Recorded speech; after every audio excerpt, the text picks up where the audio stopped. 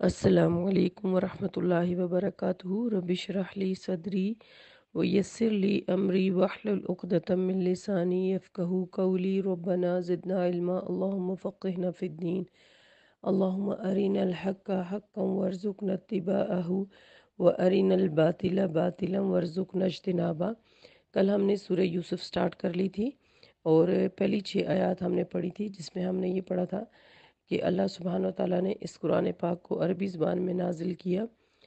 और ये जो सूरह है, सूरह यूसुफ, ये अहसनकसस है। सबसे बेहतरीन किस्सा है ये, जिसमें हमारे सीखने के लिए बहुत कुछ है। और फिर हमने ये भी पढ़ा था इसके शान नज़ूल में कि यहूद के कहने पर अहल मक्का ने नबी सल्लल्लाहु अलैहि वसल्लम से ये सवाल किया था कि बनी इसराइल यानी औलाद याकूब फ़लस्तीन से मिस्र कैसे आए थे? तो उनके इस सवाल पर अल्लाह सुबहान ताली ने पूरी सूर यूसुफ नाजिल फरमा दी। सूर यूसुफ नाजिल करने का, की एक वजह ये भी थी कि जिस तरह से इख्वान यूसुफ, यानी यूसुफ अलैहिस्सलाम के भाइयों ने यूसुफ अलैहिस्सलाम के साथ मामला किया और उनके साथ जो सलूक रवा रखा, वही कुछ कुरेश मक्का भी नबी सल्लल्लाहु अलैहि वसल्लम के साथ कर रहे थे। इसी वजह से अल्लाह ताला ने ये सूरत नाजिल करके अहल मक्का को होश के नाखुल लेने का हुक्म दिया। आज हम आयत नंबर सात से पढ़ेंगे। आउज़बिल्लिमिनशैतवानरजीम बसमीम लकत काना फ़ी यूसुफ़ा व इखवत ही आयतुल्लिसाइलीन हकीकत यह है कि यूसुफ और इसके भाइयों के किस्से में पूछने वालों के लिए बहुत से निशान इबरत हैं। किस्सा यूसुफ और साइलिन से क्या मुराद है? यानी कुफार मक्का के हालात में जो है वो ममासलत की वजह, ये पूछने वाले कुफार मक्का थे, इन्हें ये मालूम नहीं था कि इसके जवाब में जो सईदना यूसुफ अलैहिस्सलाम और इनके भाइयों के हालात ज़िंदगी हैं, वो आएँगे और वो ख़ुद इन्हीं के हालात में यानी उनका कंपैरिजन इस, इन इस सूरत के अंदर होगा। कुफार मक्का और बरदरान यूसुफ के जो कंपैरिजन किया गया और जो इबरत की निशानियाँ बताई गई या उनके अंदर जो चीज़ें मिलती जुलती थी, उनका ज़िक्र पहले भी हो चुका कि जैसे सूर्य यूसुफ में हमें ये बताया जा रहा है कि जैसे कुफार मक्का यानी नबी वसल्लम के जो ख़ानदानी भाई थे, करीबी भाई थे, वो उन्हें मक्का से निकालना चाहते थे या उन्हें कत्ल करना चाहते थे। इसी तरह यूसुफ अलैहिस्सलाम के भाइयों ने भी हसद की वजह से उन्हें फ़लस्तीन से निकालना चाहा था। आयत नंबर आठ, इस कौलू यूसुफ़ व अखूह अहब्बु इला अबीना मन्ना व नहनु उसबा, इन्ना अबाना लाफ़ी दलाल मुबीन। जब यूसुफ के भाइयों ने आपस में कहा, यानी आपस में डिस्कस कर रहे थे, यूसुफ और इसका भाई, यानी बिन यामिन हमारे बाप को हमसे ज़्यादा प्यारे हैं, हालाँकि हम एक ताकतवर जमात हैं, हमारा बाप तो सरी भूल में मुबतला है। यानी बाप की खिदमत तो हम करते हैं कमा कर हम लाते हैं, मुश्किल वक्त में हम काम आते हैं। शफकत और प्यार हमारे बजाय यूसुफ और इसके भाई पर होता है। चाहिए तो ये था कि बाप की तवज्जो हमारी तरफ़ होती, लेकिन तवज्जो का मरकज़ ये दोनों भाई बने हुए और ये हमारे बाप की सरी गलती है। लफ्ज़ दलाल मुबीन का दूसरा मानी ये भी है कि इन हक़ के बावजूद हमारा बाप इन्हीं की मोहब्बत में डूबा हुआ है। हालाँकि इससे एक और बात ये भी पता चलती है कि वो अपने वक्त के नबी थे, याकूब इस्लाम इनके वालिद, लेकिन इन्हें अपने बाप के मर्तबे का भी कोई लिहाज नहीं था। आयत नंबर नौ, उकतुलू यूसुफ़ा अवितरहू अर्जन यखलू लकुम वजह अबीकुम व तकूनु ही कौमन सालहीन। लिहाजा या तो यूसुफ को मार डालो या इसे कहीं दूर फेंक दो। इस तरह तुम्हारा बाप तुम्हारी ही तरफ़ मुतवजो रहेगा। फिर इसके बाद तुम नेक लोग बन जाना। तो यहाँ पर सालहीन जो उन्होंने कहा ना कि वतकून मिम्बादी कौमन सालहीन और इसके बाद तुम नेक बन जाना। तो सालहीन के दो मानी हैं, बाप की तवज्जो अपनी तरफ़ मबजूल कराने की तरकीब इन्होंने ये सोची कि किसी तरह यूसुफ अलैहिस्सलाम ही को गायब कर दिया जाए, या तो इसे मार डाला जाए, या फिर किसी दूर दराज मकाम पर इसे पहुँचा दिया जाए, ताकि वहाँ से वो वापस ना आ सके। इसी तरह वो अपने मकसद में कामयाब हो सकते थे। अब चूँकि वो एक जलील कदर नबी की औलाद भी थे, इसलिए ऐसा काम कर, करते वक्त इनका ज़मीर इन्हें मलामत भी कर था। इसका हाल इन्होंने ये सोचा कि पहले अपनी ख्वाहिश नफ्स पूरी कर लें, बाद में तोबा करके नेक बन जाएँगे। यही वो शैतानी चालें थी जिनके मतलब याकूब अलैहिस्सलाम को पहले ही से अंदेशा था।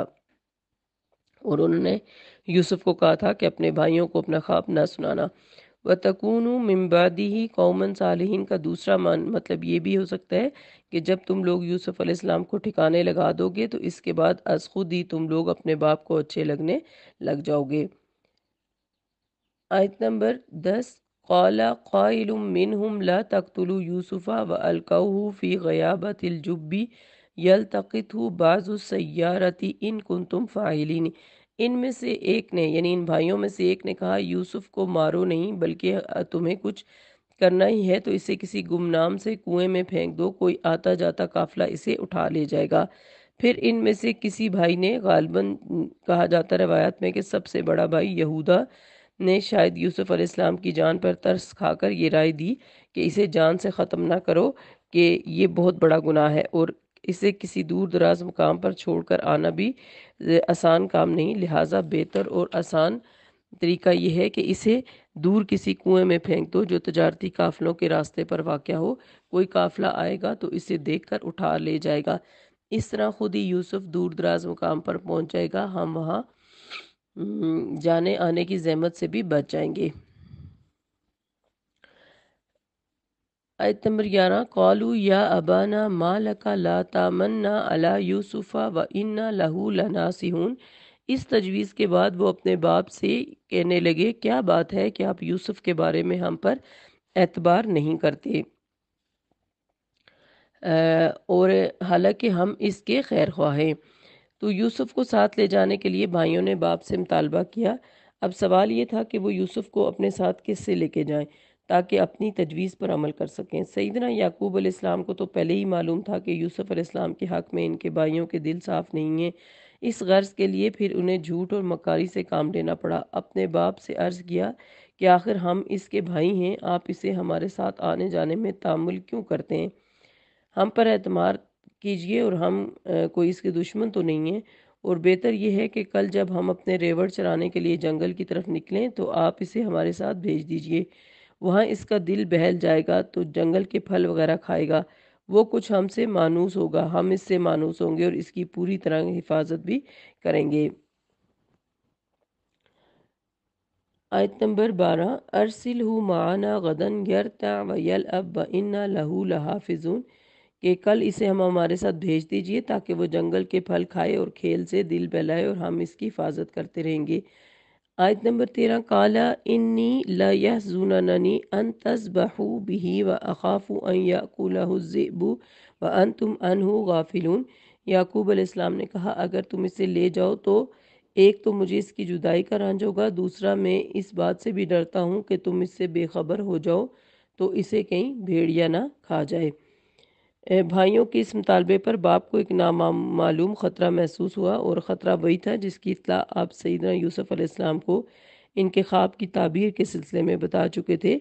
भाइयों को गालबन ख्वाब का इल्म तो नहीं था, ताहम सईदना याकूब अलैहिस्सलाम का वजदान इन्हें यही बता रहा था कि भाइयों की नीयत बखैर मालूम नहीं होती, चुनाचे इन्होंने अपने इस ख़तरे को ऐसे अल्फाज में ज़ाहिर किया जिससे इनकी नीयत पर शक महसूस ना और कहा मुमकिन है तुम लोग अपने रेवड़ की हिफाजत में मशहूर हो और कोई भेड़िया या दरिंदा आकर इसे कोई नुकसान पहुँचा जाए और, या फाड़ खाए और तुम्हें पता भी ना चले। आयत नंबर चौदह, कौलू लाइन अकलज़ेबू व नहनो उसबतुन इन्ना इज़ल खासिरून वो कहने लगे, हम एक ताकतवर जमात हैं। अगर हमारे होते हुए इसे भेड़िया खा जाए तो तब तो हम बड़े नुकसान में पड़ गए। यानी इसके जवाब में भाइयों ने कहा कि हम दस जवान और मज़बूत आदमी और हम में से हर कोई भेड़िया तो कुजा शेर का मुकाबला करने और इसे मार देने की भी ताकत रखता है। फिर अगर हम यूसुफ अलैहिस्सलाम की हिफाजत ना कर सके तो हम पर लाख लानत, आखिर हम इतने गए गुजरे भी नहीं हैं। आयत नंबर सोलह, फ़लम्मा जहाबू बिही व अजमाऊ अन फ़ी ग़ियाबतिल व अवहैना इलेही लतुनबी अन्नहुम बि अमरीम हाजा वहुम ला यशुरून चुनाचे जब वो यूसुफ को साथ दे गए और इस बात पर इतफाक़ कर लिया कि इसे किसी गुमनाम कुएँ में डाल दें इस वक्त हमने यूसुफ को वही की कि एक वक्त आएगा जब तुम अपने भाइयों को इनकी ये हरकत जतलाओगे हालाँकि वो तुम्हारे मतलब कुछ भी नहीं जानते होंगे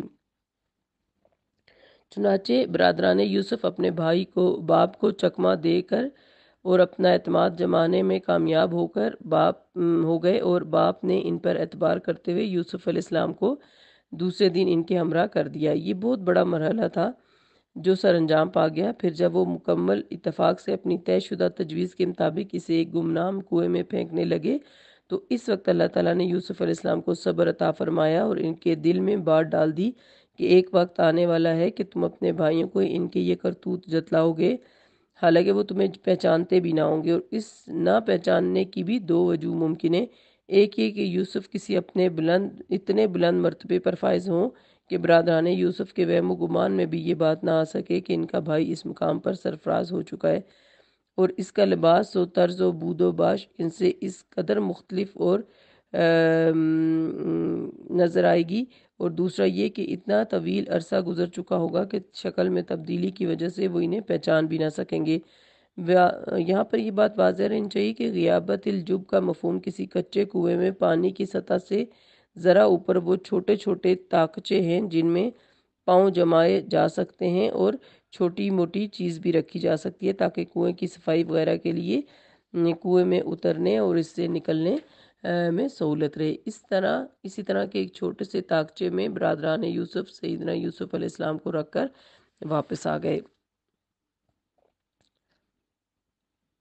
आयत नंबर सत्रह, कालू, या अबाना इन्ना जहबना नस्तबिकु व तरकना यूसुफ़ा इंदा मताइना फ़अक़लूहु ज़िब वमा अंता बिमुमिन लना वलौ सादिकीन।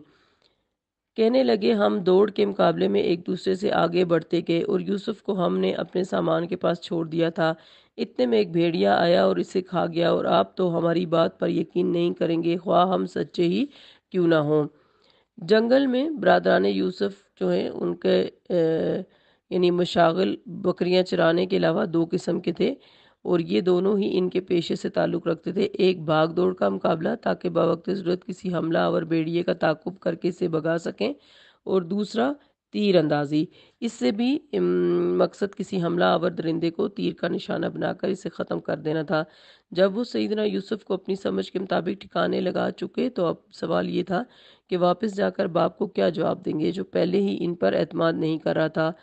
वो कोई आदि मुजरम तो थे नहीं जो फरेब, मकारी और बहानाबाजी में महारत रखते, फ़कत हसद और इंतकाम की आग ने इन्हें इस काम पर मजबूर कर दिया था। लिहाजा इन्हें इस बात का सिवा कोई बहाना ना सूझा जिसकी तरफ़ इनके बाप ने इशारा किया था। चुनाचे इन्होंने सईदना यूसुफ अलैहिस्सलाम की कमीज़ उतारी, एक हिरन या बकरी को ज़िबा किया, इसके खून से कमीज़ को आलूदा किया और काफ़ी रात गए अंधेरे में रोते धोते तो राहु बका करते घर वापस आए और बाप को बताया कि हम आपस में भाग दौड़ के मुकाबले में मसरूफ़ हो गए थे और यूसुफ को अपने कपड़ों और सामान वगैरह के पास बिठा गए। जब हम दूर निकल गए तो एक भेड़िया आया जिसने यूसुफ अलैहिस्सलाम को फाड़ खाया और अपने इस ड्रामे को सच साबित करने के लिए सैदना यूसुफ अलैहिस्सलाम की खून आलूद कमीज़ भी पेश कर दी।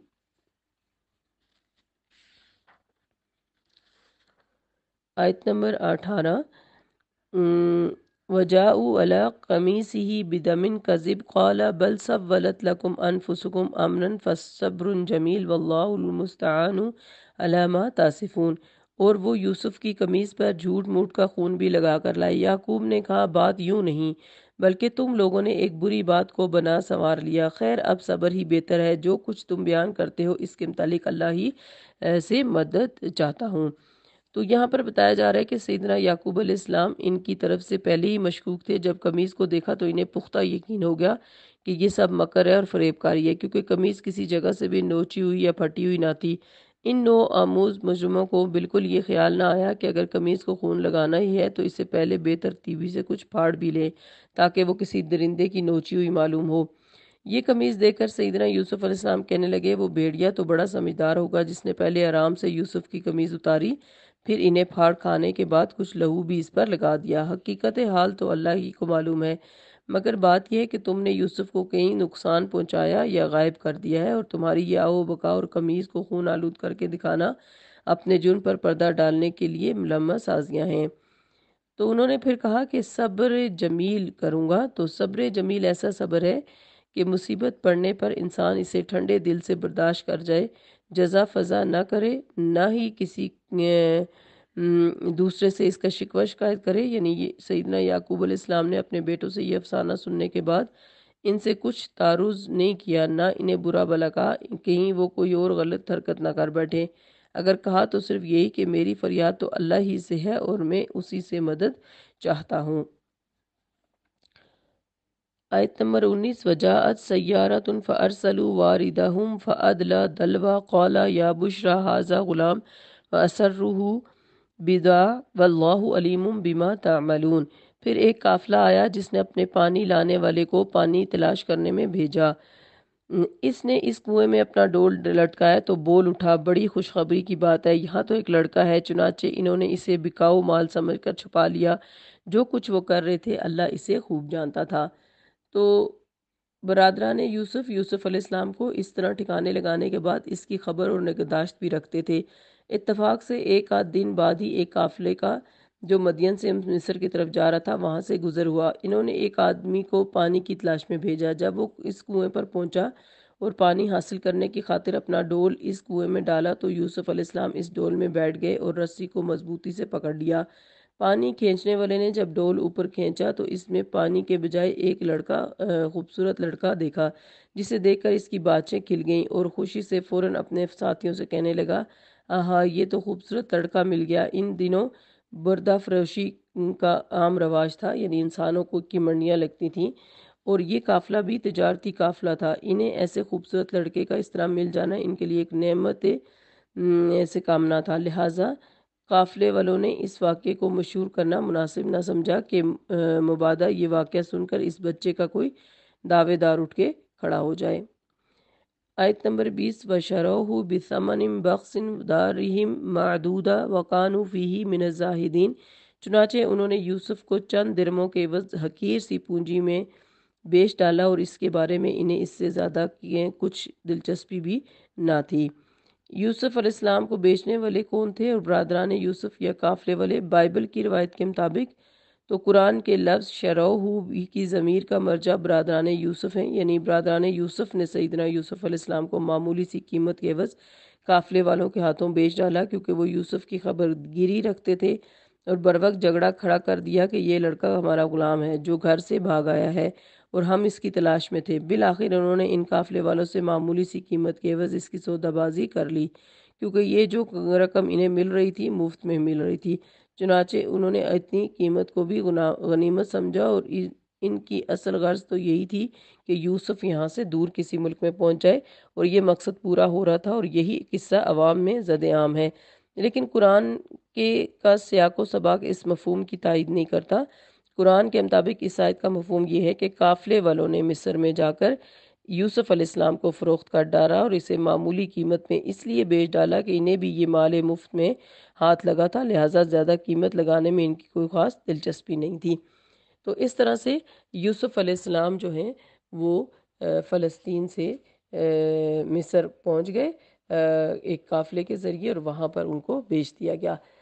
और यूसुफ अलैहिस्सलाम जो हैं वो आगे हम पढ़ेंगे कि किस कदर कदर मंजिलत रखते हैं। कल भी मैंने आपको हदीस सुनाई थी इसी हवाले से कि यूसुफ अलैहिस्सलाम कितने मुकर्रम हैं। अल्लाह के नबी सल्लल्लाहु अलैहि वसल्लम ने फरमाया लेकिन यूसुफ अलैहिस्सलाम के साथ जो है वो उनके भाइयों ने क्या किया और फिर जिन्होंने यूसुफ अलैहिस्सलाम को पाया, उन्होंने कैसे यूसुफ अलैहिस्सलाम को यानी बिन मोल कर दिया और चंद पैसों के दिरमों के वज़ उनको बेच दिया?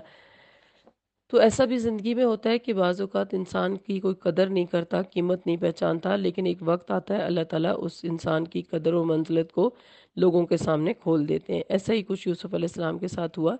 बहरहाल किस्सा यूसुफ में हम सब के सीखने के लिए बहुत सारे इसफाक हैं, जो इन हम साथ साथ पढ़ते भी जाएँगे और सीखते भी जाएँगे। आज की तफसीर में जो बात हमने सीखी है, वो ये है कि यूसुफ़ अलैहिस्सलाम को जब उनके भाई कुएँ में फेंकने के लिए गए तो अल्लाह ने उन्हें सब्र अता किया। तो जो भी सब्र माँगता है, अल्लाह ताला उसे ज़रूर सब्र अता करता है। दूसरी बात यह कि याकूब अलैहिस्सलाम ने भी बोला कि फ़सब्र जमील तो बेहतरीन सब्र वो होता है जो किसी भी वाक्य के शुरू में किया जाए और कोई शिकवा शिकायत ना किया जाए। रो पीट के, रोने और पीटने के बाद जो सब्र किया जाए वो फिर सब्र नहीं कहलाता। इसलिए ज़िंदगी में अगर कोई भी परेशानी हो तो इंसान को अल्लाह ताला की खातिर सब्र करना चाहिए। इस उम्मीद पर कि अल्लाह ताला इसका बेहतरीन नेमुल बदल हमें अता फरमाएँगे। अल्लाह ताला हम सबको साबिर और शाकिर लोगों में शामिल फरमाए। आमीन। सुबहानक अल्लाहुम्मा व बिहम्दिका नशहदु अल्ला अंता नस्तगफिरुका व नतूबु इलैक। अस्सलामु